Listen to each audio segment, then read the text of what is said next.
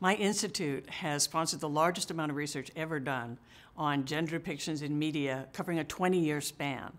And uh, what we do with the research is because I'm in the entertainment industry, I have direct access to the people who are making, uh, who are creating the content for kids. So we just go directly to them and present our research results. We visit every studio, every network. We go to all the guilds, Writers Guild, Animators Guild, and, uh, and share our findings with them in a private and collegial way.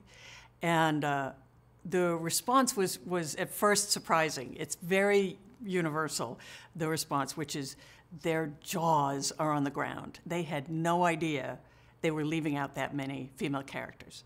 If I went in and said, You're not making as many movies starring a female character as males, they'd say, We know that. But when I say, The movies you are making are bereft of female presence, that's something that they didn't realize. And uh, very often, right in the meeting, uh, someone will say, well, I have to go rewrite my project. Or at one studio, they got out their book of upcoming projects to, to see uh, how they were going to do. And they were like, oh, we got to work on that one. Oh, that one's going to be horrible. and so we're getting a great, great response. In fact, uh, we did a little survey of people who have heard the presentation.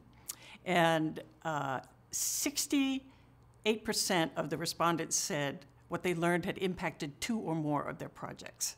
So we feel like this is a great, great result. And every studio and every network says, please come back when you have more research. And so I really feel when we update our research, let's say in 2015, that we're going to see the needle having moved. And uh, this will be the first time in decades. The ratio of male to female characters in films has been exactly the same since 1946.